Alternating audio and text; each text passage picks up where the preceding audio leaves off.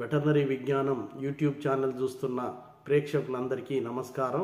Veterinary విజ్ఞానం YouTube ఛానల్లో గతంలో దాదాపు పదమూడు మోడల్ క్వశ్చన్ పేపర్స్ పెట్టడం జరిగింది. ఆంధ్రప్రదేశ్ రాష్ట్రంలో గ్రామ సచివాలయంలో పశుసంవర్ధక శాఖ అసిస్టెంట్ పోస్టుల ఎంట్రన్స్ ఎగ్జామ్కు సంబంధించిన మోడల్ పేపర్లు చాలామందికి ఉపయోగపడుతున్నందుకు చాలా సంతోషంగా ఉంది. ఈరోజు మోడల్ పేపర్ పద్నాలుగు గురించి మనం మాట్లాడుకుందాం. ముందుగా మనం క్వశ్చన్లోకి వెళ్ళే ముందు ఈ ఆన్సర్లు అనేది చివరిలో చెప్తాను వివరంగా. కాబట్టి ముందు మాత్రం ఈ ఇరవై క్వశ్చన్స్ గబగబా చెప్పడం అనేది జరుగుతుంది. మీకు నచ్చిన ఆన్సర్ను ఒక కాగితం మీద రాసుకోండి. మనం వివరంగా మాట్లాడుకున్న తర్వాత దాంతో కంపేర్ చేసుకోండి. ఇక అసలు సబ్జెక్ట్లోకి మనం వెళ్తే మొదటి క్వశ్చన్ విషయానికి వస్తే ఈ క్రింది వాటిల్లో దేనిని ఓపెన్ చేస్తే క్లియర్ వాటరీ ఫ్లూయిడ్ కనబడుతుంది? Abscess cyst tumour oedema. రెండవ క్వశ్చన్. ఈ క్రింది వాటిలో దేనిలో ఈ రెడ్ కానీ హాట్ ఫర్మ్ పెయిన్ఫుల్ స్వెల్లింగ్ కనబడుతుంది? ఈ లక్షణాలు వేట్లలో కనబడతాయి. ఇన్ఫ్లమేషన్ ఉంటే కనబడతాయా? సిస్ట్ ఉంటేనా? ట్యూమర్? ఎడిమా? ఈ మూడవ క్వశ్చన్. శరీరంలోని క్యావిటీస్ నుండి నీడిల్తో ద్రవాల్ని తీసే విధానాన్ని ఏమంటారు? పారాసింటసిస్ యాంపిటేషన్ ఎక్స్టర్పేషన్ ఎనిక్లుయేషన్ ఈ నాలుగిట్లో ఏది కరెక్ట్ ఆన్సర్? నాలుగవ క్వశ్చన్. బ్యాక్టీరియా మరియు వాటి స్పోర్లను చంపే మందుల్ని ఏమంటారు? యాంటీ హెల్మెంథటిక్స్ కాస్టిక్స్ యాంటీసెప్టిక్స్ డిజిన్ఫెక్టెంట్స్ ఇదో క్వశ్చన్. బ్యాక్టీరియా వృద్ధిని అరికట్టే మందుల్ని ఏమంటారు? Anti helminthics caustics antiseptics. Question. Cosmetic surgery అని దేన్ని అంటారు?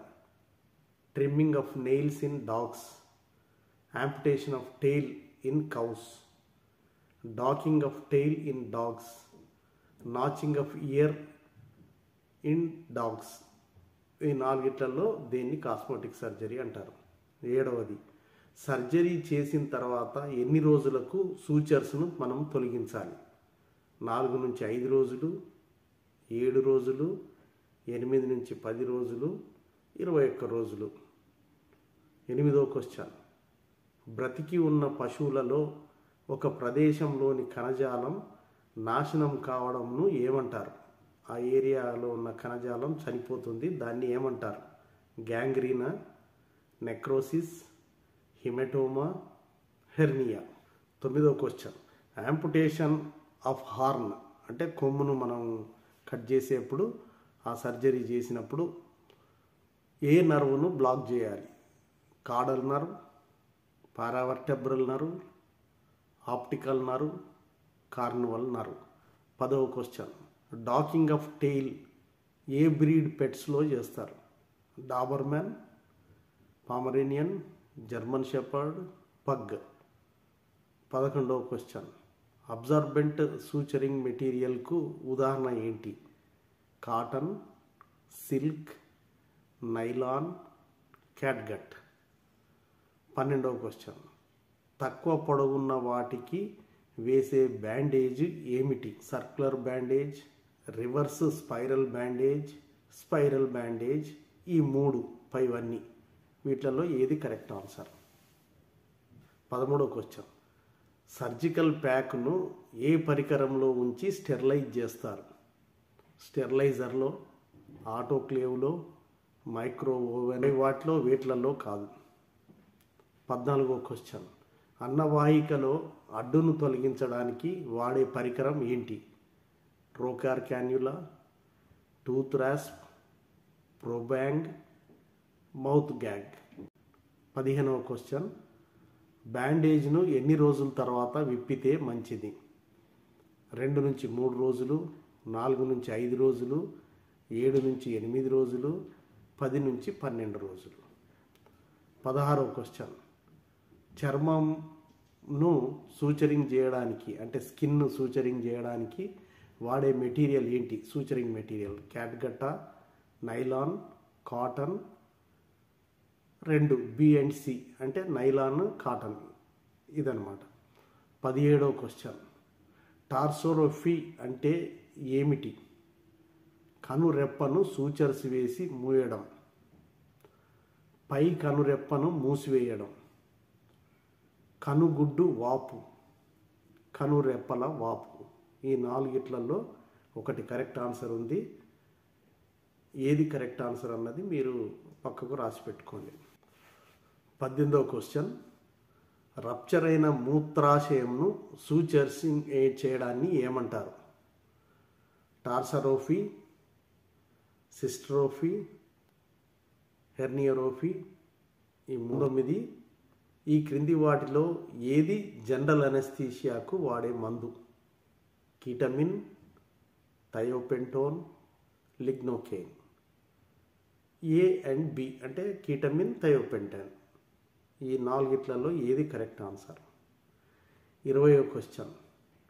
క్యాస్టింగ్ అంటే ఏమిటి? పశువులను లాటరల్ రికంబెన్సీ అంటే పక్కకు పడేట్టు చేసి కాళ్ళను కట్టివేయడాన్ని క్యాస్టింగ్ అంటారు.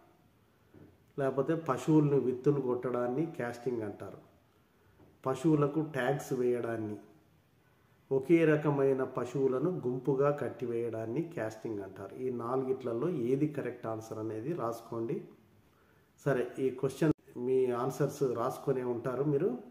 ఇక వాటి సమాధానాలు నేను వరుసగా చెప్పుకుంటూ పోతాను. జాగ్రత్తగా వినండి. మొదటి క్వశ్చన్ సమాధానాన్ని విషయానికి వస్తే ఈ క్రింది దేనిని ఓపెన్ చేస్తే క్లియర్ వాటరీ ఫ్లూయిడ్ కనబడుతుందంటే సిస్ట్ను ఓపెన్ చేస్తే ఆ విధంగా కనబడుతుంది. సపోజ్ మీరు యాప్సెస్ను ఓపెన్ చేశారనుకోండి రక్తము చీము కనబడుతుంది. అదే మీరు ట్యూమర్ను ఓపెన్ చేశారనుకోండి రక్తం కనబడుతుంది. ఎడిమాలో మాత్రం మనం ఆ పైన నొక్కితే లోపలికి ప్రెషర్ లాగా గుంతపడుతుంది ఈ రెండవ క్వశ్చన్. ఈ క్రింది దానిలో red hot firm painful swelling దేంట్లో కనబడుతుంది? అంటే ఇన్ఫ్లమేషన్ ఉన్నప్పుడు ఈ నాలుగు లక్షణాలు మనకు స్పష్టంగా కనబడతాయి. మరి సిస్ట్ ఉన్నప్పుడు నొప్పి ఏం కనబడదు. ట్యూమర్ ఉన్నప్పుడు నొప్పి ఏం ఉండదు. ఎడిమా ఉన్నప్పుడు కూడా నొప్పి ఉండదు. కేవలం ఇన్ఫ్లమేషన్ ఉన్నప్పుడు మాత్రమే పెయిన్ ఉంటుంది. శరీరంలోని క్యావిటీస్ నుంచి ద్రవాన్ని నీడిల్తో తీయడాన్ని ఏమంటారంటే పారాసింటసిస్ అంటారు. యాంపిటేషన్ అంటే యాంపిటేషన్ ఆఫ్ టెయిల్ తోకను కత్తిరియడం. ఎక్స్టర్పేషన్ ఎక్స్ ఎన్యూక్లియేషన్ అంటే కనిగుడ్డును కంట్లో ఆపరేషన్ చేసి తీసేయడాన్ని ఎక్స్టర్పేషన్ ఎన్యూక్లియేషన్ అంటారు. పారాసింటసిస్ అంటే మాత్రం శరీరంలోని క్యావిటీస్ నుంచి ద్రవాలను తొలగించే ప్రక్రియ. నాలుగో క్వశ్చన్ బ్యాక్టీరియా మరియు వాటి స్పోర్లను చంపే మందుల్ని ఏమంటారంటే డిజిన్ఫెక్టెంట్స్ అంటారు. మరి ఓన్లీ బ్యాక్టీరియాని అరికట్టే మందుల్ని ఏమంటారంటే యాంటీసెప్టిక్స్ అంటారు. యాంటీ హెల్మెథటిక్ అంటే పరాన్న జీవుల నిర్మూలన మందులు. కాస్టిక్స్ అంటే ఒక కణజాలాన్ని చంపడానికి అంటే డెత్ అయిన కణజాలాన్ని శుభ్రం చేయడానికి ఉపయోగపడే మందుల్ని కాస్టిక్స్ అంటారు. బ్యాక్టీరియా వృద్ధిని అరికట్టే మందుల్ని ఏమంటారు? యాంటీసెప్టిక్స్ అంటారు. ఆరో క్వశ్చన్. కాస్మెటిక్ సర్జరీ అని దేన్ని అంటారు? Docking of tail in dogs.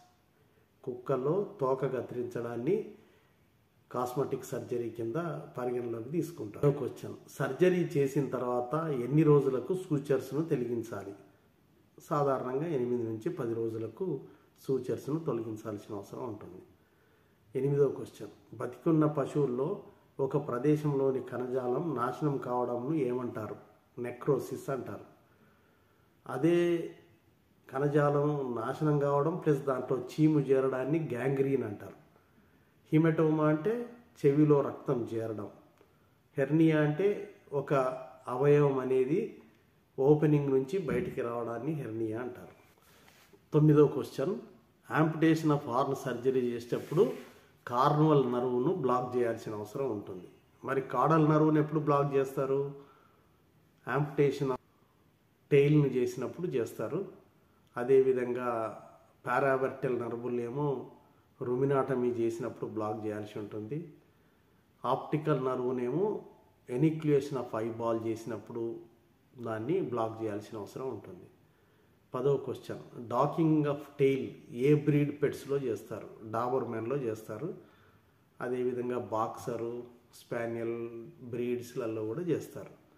పదకొండవ క్వశ్చన్ అబ్జార్బెంట్ సూచరింగ్ మెటీరియల్కు ఉదాహరణ.